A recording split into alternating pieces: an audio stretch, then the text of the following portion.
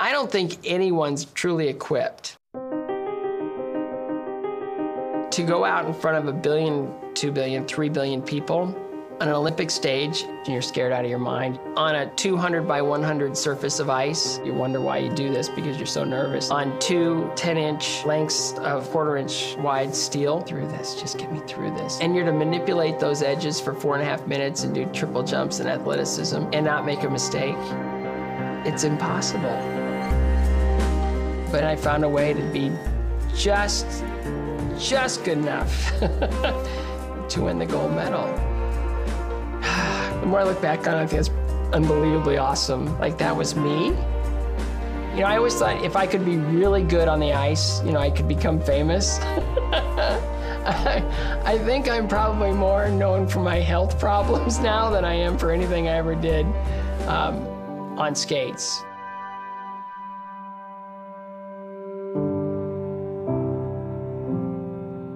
Was very little, I suffered from a disease that stopped me from growing.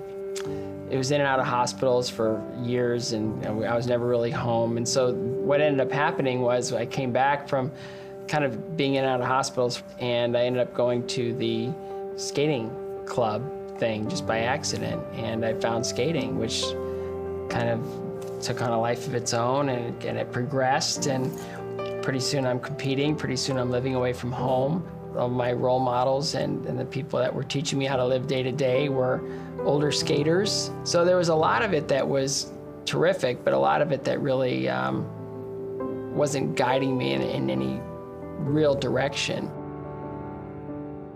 It wasn't until I suffered the devastation of my mother losing her battle to cancer that something was awakened in me. I knew I needed something more, something better. I think I needed to have uh, some strength. And my mother um, was my source of strength. When she was living, I would disappoint her.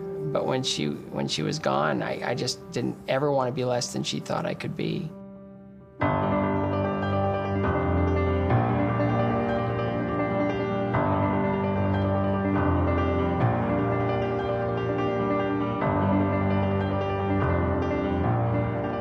Was happy to just work. I was happy to just entertain. I do well, and I think that was that was good enough. Skating had given me life as a child, and it given me, you know, kind of a strength as an adult. But what was about to happen uh, really changed my life forever.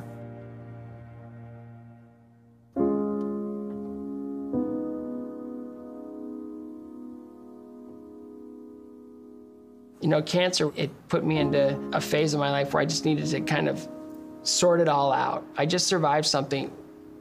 Why? I, I, survived something that took the most important person in my life off the planet. That was my mother. She died of cancer and I survived. What's my purpose now? What, what do I need to do? What, how do I? And a big part of that dust settling was getting with Tracy. And she brought me to the church. She took me to a minister, a man named Ken Durham. And the first thing he, he said to me, which was, was extraordinary, was he goes, You have to understand that Christianity is, is a faith of history. These things actually happened. And I go, okay, that's a good starting off point. And just study what has happened and, and see how that resonates in your own life. And it grew. It just sort of, it's like, okay, I get it. When you survive testicular cancer um, and you want to start a family, you don't know what the issues are going to be. And um, I prayed that I, I would someday become a father. Tracy and I, we got engaged and married and then my son was born nine months and two days after we got married. so I guess there was a plan there.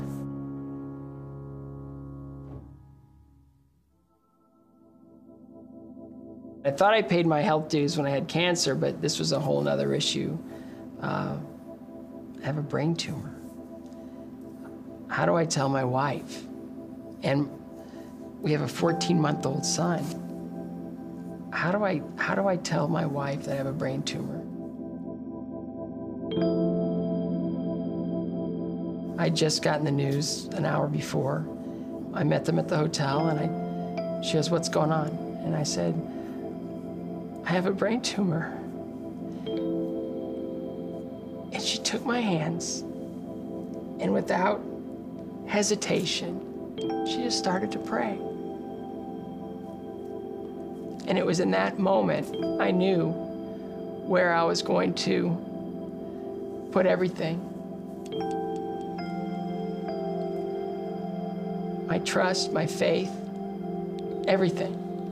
So the most powerful moment of my life. From that moment forward, we just said, whatever it is, whatever it takes, we'll face this.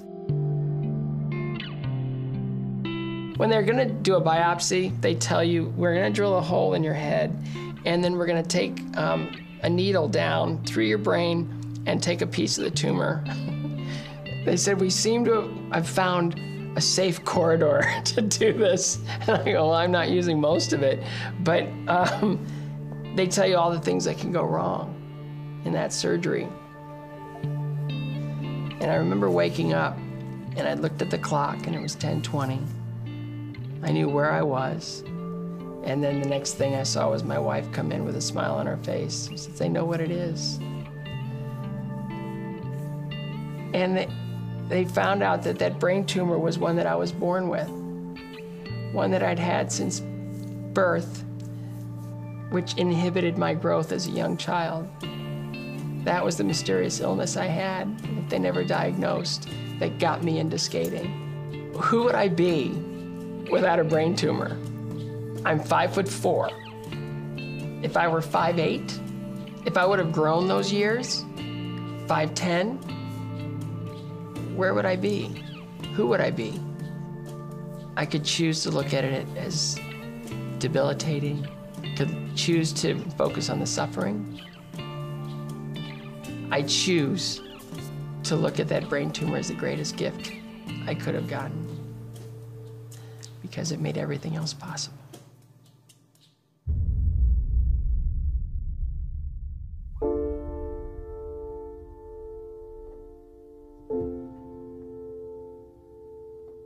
I didn't see past it this time. I didn't think I would survive. One point I was starting to really feel weak. One nurse in particular, I was up at three o'clock in the morning and I just was uncomfortable. And she was, can, can I get you anything? And I, I just said, no. I go, I'm just a little scared. And she said, do you pray? I said, yes. And she said, what do you say when you pray? I go, well, I just, I just thank God for all the blessings in my life. Do you ask him for anything? No. I just, I just want him to know I'm grateful. I'm grateful. Well, who is God to you? And I said, Well, I, guess he's, he's my father. Oh, you're a father, right? Yes. If one of your children were hurting, wouldn't you want him to come to you for comfort, strength? Yes. So I changed the way I pray now. Ask.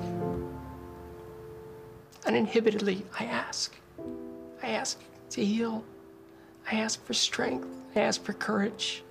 I ask for another child. I want to talk about miracles. It's after surviving the pituitary brain tumor.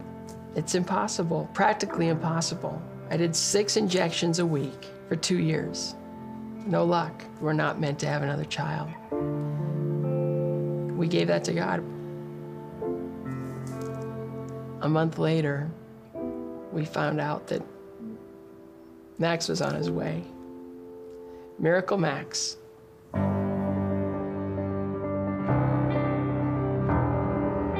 When I look back and I see all those little moments in my life where I needed a great deal of strength, I understand that through a strong relationship with Jesus, you can endure anything.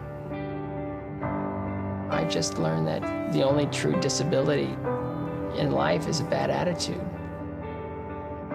God is there to guide you through the tough spots. God was there every single time. every single time. Hmm. My name is Scott Hamilton, and I am second.